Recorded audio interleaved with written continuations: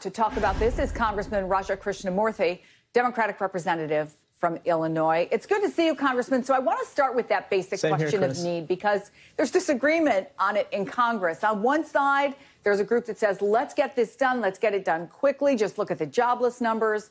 On the other side, you hear, let's wait a few weeks, let's see where we are, see what the impact of the first three packages are. Where do you stand on that? Well, I think this is no time for partisanship. I think we have to get something done right away. Um, I think that uh, you know Mitch McConnell just a few weeks ago, unfortunately, began with a very partisan proposal, but after taking input from a lot of different uh, corners of Congress, we came up with a very good bipartisan bill, the CARES Act, which uh, basically passed unanimously. And this time around, we have to do the same thing, but we have to get to the end result quicker. And that means taking input from Democrats and Republicans and putting together a package. I think we have to shore up the PPP program for small businesses, which is going to be running out of money. But at the same time, we got to help hospitals. Uh, they are going, uh, a lot of them are going bankrupt because of the current situation.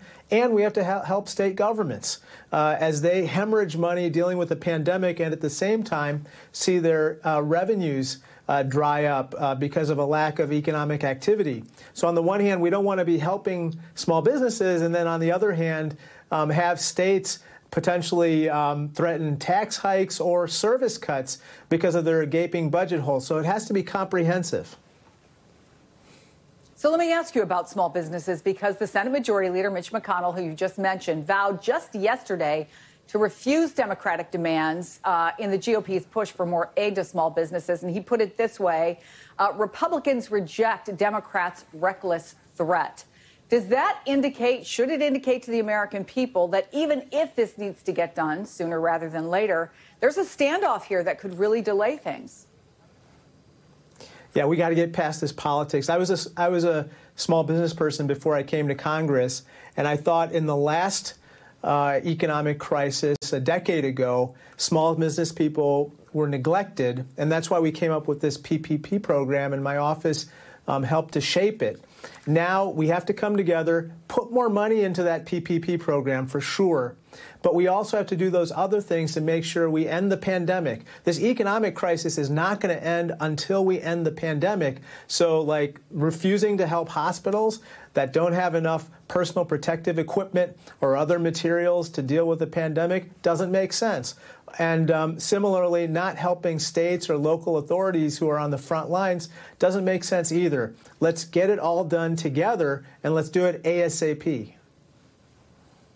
So there's an argument that Democrats actually have leverage here, Congressman. The president doesn't want to run for reelection in the middle of uh, a full fledged depression, and legislation could arguably help avoid that. Do you, first of all, believe you have leverage? And if you do, how do you use it? Well, uh, the fact that we basically need unanimous consent to get something passed through Congress means that everybody needs to be at the table, Chris. And I think that's something that Majority Leader McConnell needs to realize sooner rather than later.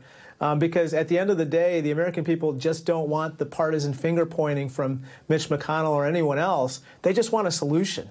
Um, you know, my wife just finished a 12 hour shift at her hospital last night, and um, the cases are streaming in.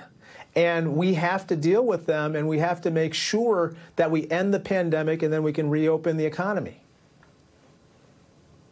Well, Congressman, thanks to your wife, first of all, and thanks to you, uh, Raja Krishnamoorthi, for your time. We really appreciate it. Thank you. Thank you, Chris.